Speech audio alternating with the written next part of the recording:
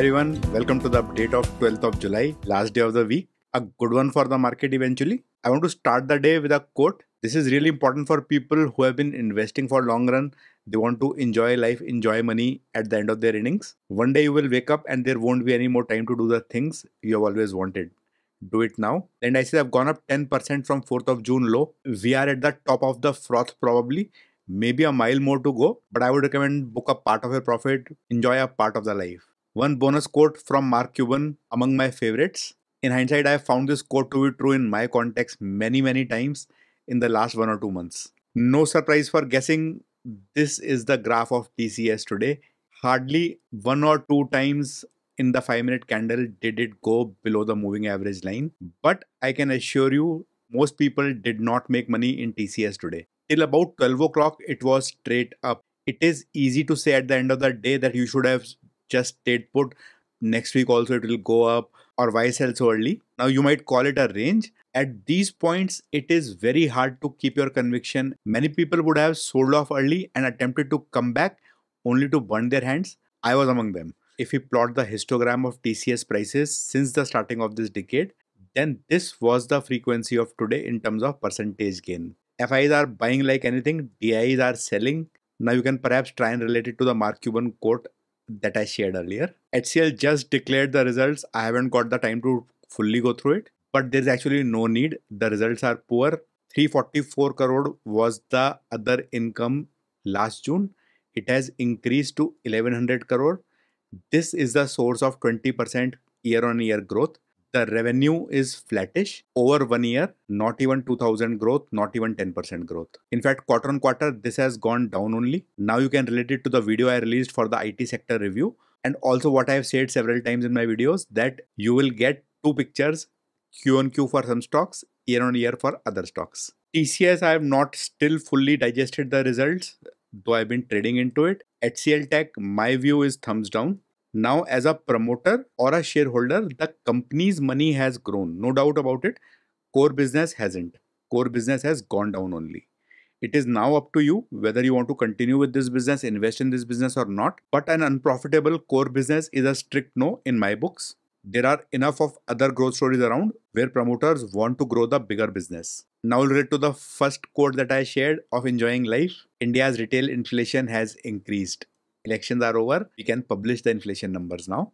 This is predominantly food inflation, and the country is going through floods. The tomato, potato, onion inflation is about to hit in the next two, three months. So this will get worse only. HCL has themselves said that the annual revenue growth will be 3 to 5% only. NSE has removed 1000 stocks from the collateral list. These are popular stocks which people held and used as collateral to pledge and get money. This will have a big impact because the universe size has become smaller. People who are used to pledging and using this as collateral, they will get rid of a significant amount of stocks from their portfolio and move to ultra large caps, which will increase their PE further.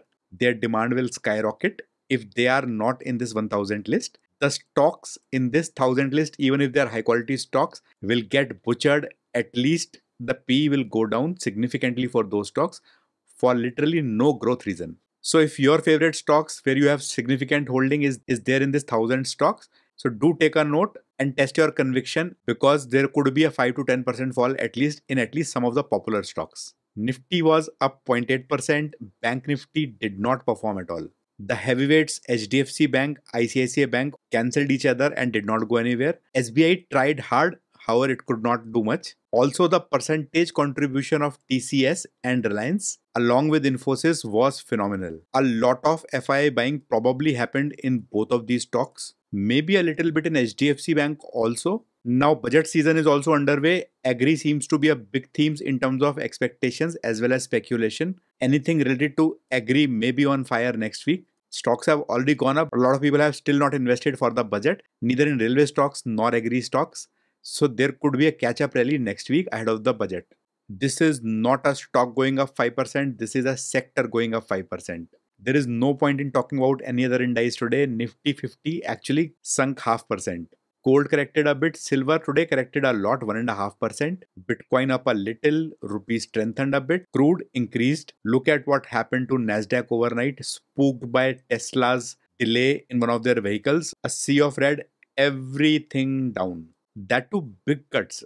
Nvidia losing 5.6% of its market cap in one day. Meta 4%. These are very large cuts in Nasdaq. And now contrast it with what we had in RIT. I've mentioned it so many times, so I'll not go too much into details. But nearly everything in the index, which is heavyweight, shot up at the same time today. A remarkable coincidence once more. Reliance was up mostly after 12 o'clock. ICICI was down mostly after 12 o'clock. Infosys up. TCS up. HDFC went up and then corrected a bit. SBI was choppy. ITC reverse of HDFC Bank. Nifty was in a fine range. Bank Nifty was a bit choppy, but in a very narrow range. The VIX eventually collapsed. PSU banks continued to sulk. Volumes are picking up for banks. People have to take a call whether they have to stay or get out before the results and the budget.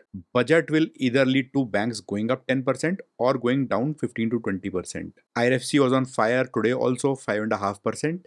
Defense, I forgot today what I say every day. The defense pack opened high, went low, consolidated. Some stocks went up a little bit. What I forgot was I bought GRSE here and then it wiped out a lot of the capital I had added 2660 to 2580 big 80 point fall.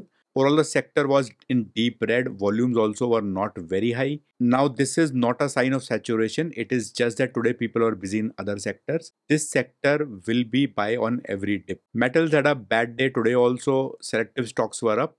IT so now we have results of TCS done HCL done. Infosys there is anticipation. Wipro 2 has gone up 5%. Zomato I mentioned at 200 that it will now reach new heights. It is now at 222. Persistent was up another 4%. Right now, you need the slightest of reason, a headline to go up. Most people will like HCL results also, the way they like TCS results. So the sector and some of the IT stocks may still go up further, but that will only increase the pain in the months to come. The power pack was red today, half percent down. Volumes were okay. I haven't seen the news yet, but Oil India has been on a tear. It almost seems like it has a IT subsidiary maybe. The volumes are highest for Oil India. Market breadth was not that good. 16 sectors only were up. No points for guessing. Software and IT contributed most, followed by oil and gas, banking, food and tobacco. Heavy machinery, real estate, aerospace and defense, auto were dragging the indices down. Look at auto. I talked about Maruti in some of the updates earlier this week. 1.2% down. This will go down further in my opinion. Now the results may be good, but the forecast is not looking rosy. RVNL corrected a bit, L&T was up, a seesaw going on between these two stocks. Cement up a bit. Some of the smaller stocks in this space now may be a contender for an acquisition as the war heats up between Ultratech and the Adani Group. Adani Enterprises, like I said yesterday, goes half percent down every day. DMart up. Food and tobacco, the top stocks were up. ITC, Nestle, Britannia, Tata Consumer, good gains.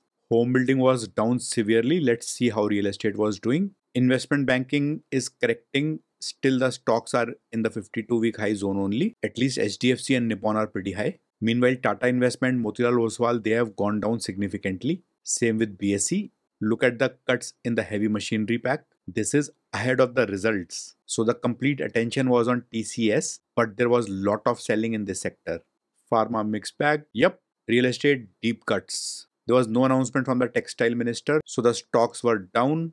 This is a joke continuing from yesterday. Nifty 50 16 stocks down, 34 up. TCS, Infosys, Reliance, Wipro, HCL, Axis Bank were the leaders. Maruti, ICICI, Airtel, Coal India, Kotak Mahindra were the laggards. Low volumes were there today only in Hero and Eicher Motors. The high contributors had phenomenal volumes. All the high contributors are suddenly in the 10th zone. TCS, Infosys, Reliance, Wipro. Next 50, however, was not as good. 29 stocks down, 21 up. Info Edge Zomato, Shriram Finance, IRCTC up. Shriram Finance has been up after a long time. What was down? IOC, ABB, Bank of Baroda, Siemens. The laggards had high volumes.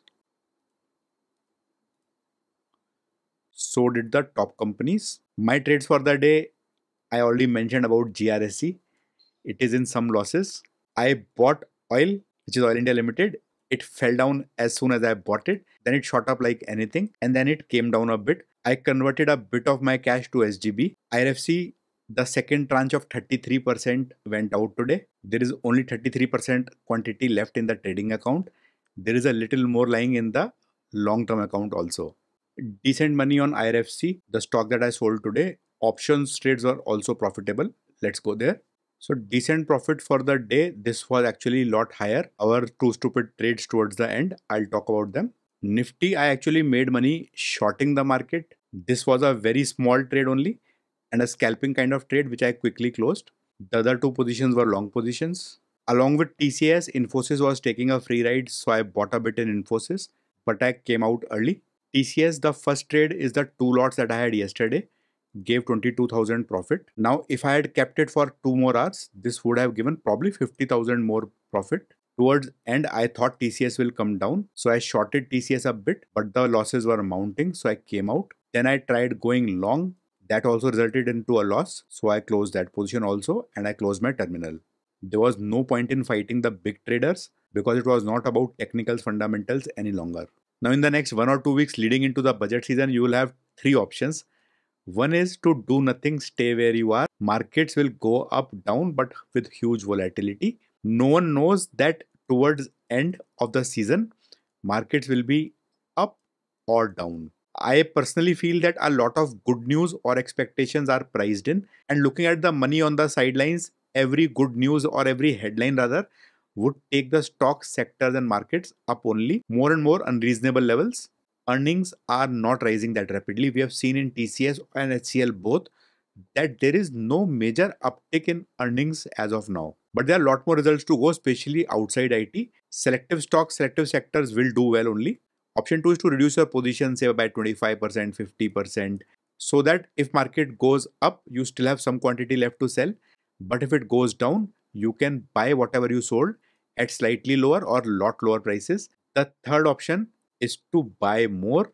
Now, as a trader, it may not be a bad idea because markets are looking very bullish right now. But the fall in stocks and markets will be ferocious whenever they come. People who are trying to time the tops, they may be lucky if they succeed, but it is very hard to predict the tops as well as bottoms. If you want to try some speculation, do it with limited capital, not with majority of it. Have a fantastic weekend. Thanks for watching. I'll see you on Monday.